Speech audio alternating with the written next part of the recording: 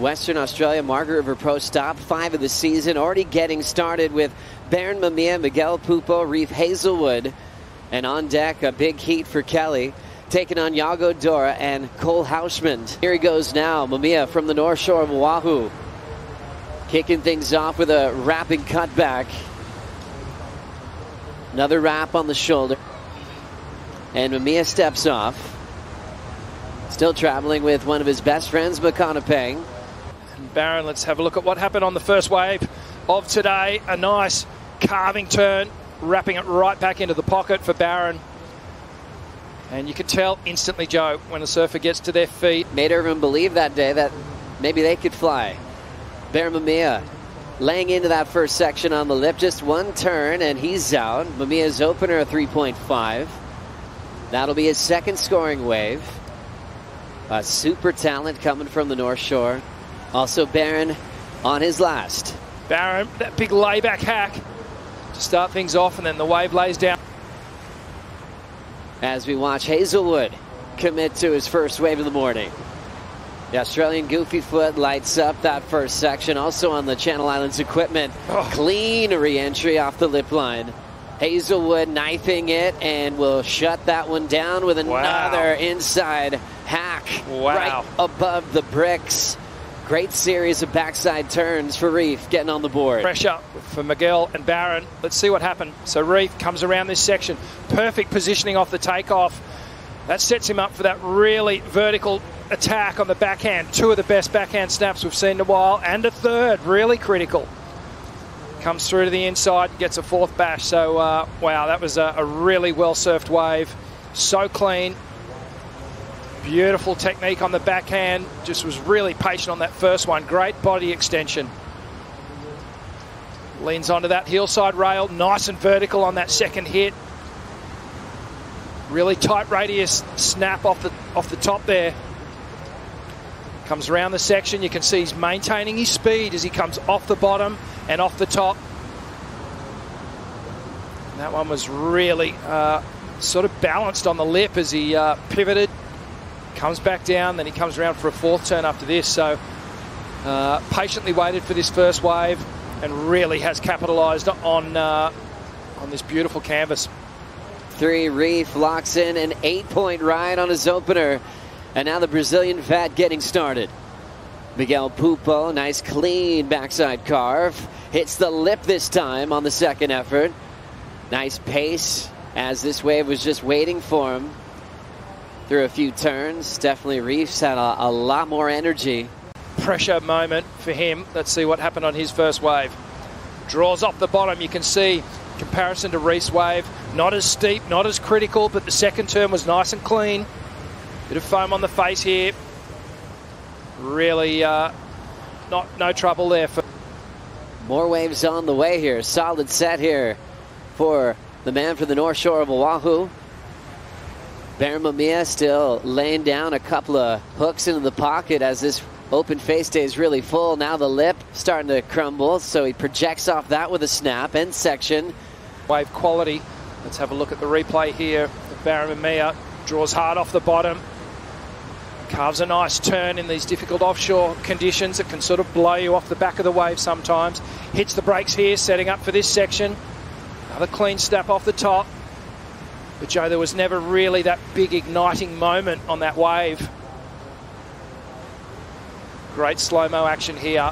Now Barron, he's a really front-footed surfer. Front foot dominant means he really drives off a, a- of a leaning forward position. And that back, uh, that back leg sort of steers the board around. Heazlewood on his second scoring ride.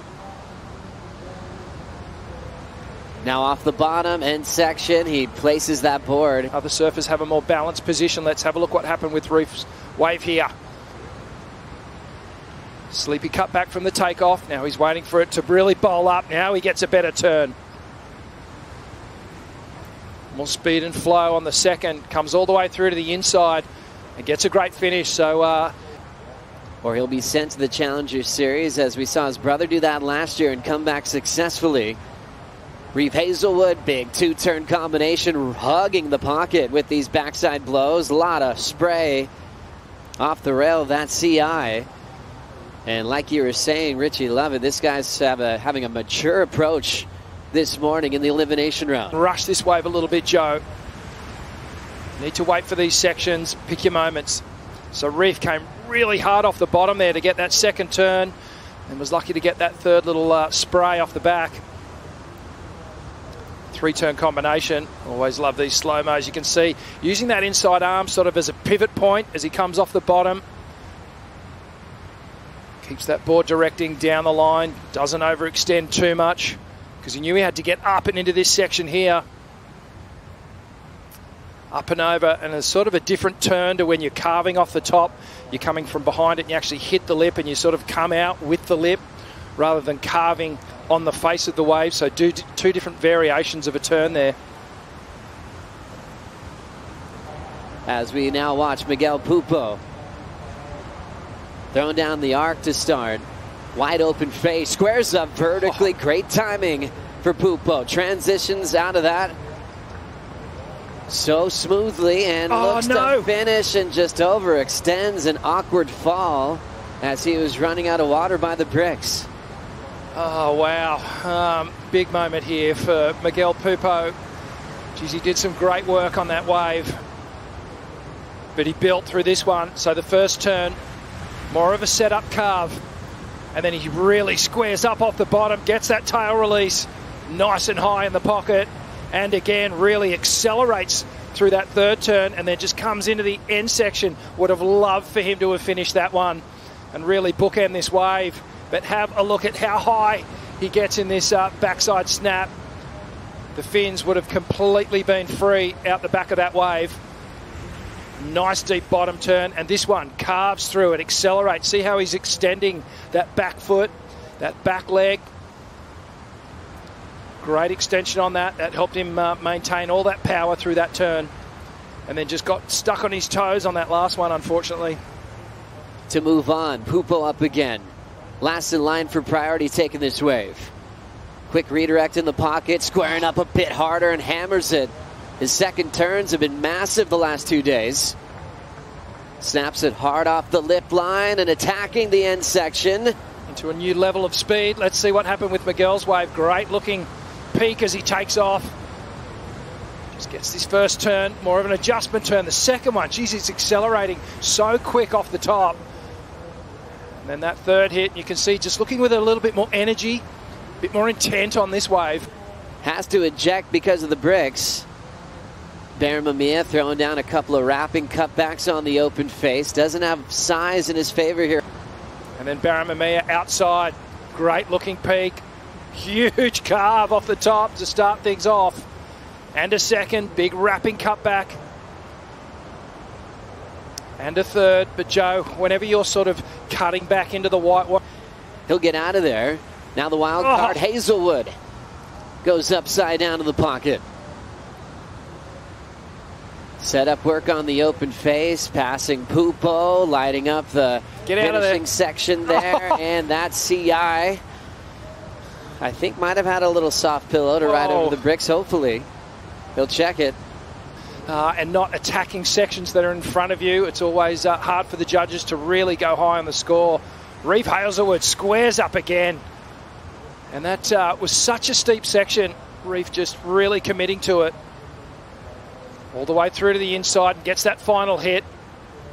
And does his best to uh, navigate through that tricky section before the rock exposes itself. But look how, look at the angle on that board as he comes off the bottom. He gets it to 12 o'clock, which is really vertical, and then that tight pivot radius off the top. Comes down with the whitewash. Perfect control, gets straight on the heel side rail again, but his bottom turns are so deep. And uh, this is the best I've seen Reef surf uh, in, a, in a championship tour heat. He is really, really feeling it out here, taking it to the more established uh, pros in this one, Barron and Miguel. Ooh. Still work to do. And a big loss to the top 10 with Barron Mamiya falling out with a 33rd in the elimination round, but the backhand of Miguel Pupo providing some brilliant moments under pressure of the midseason cut as he moves into the round of 32. And maybe the best performance in a CT jersey from Reef Heazlewood so far in his career. Yeah, really mature, composed performance there. Wave choice was on point. His performance on the wave, absolutely amazing.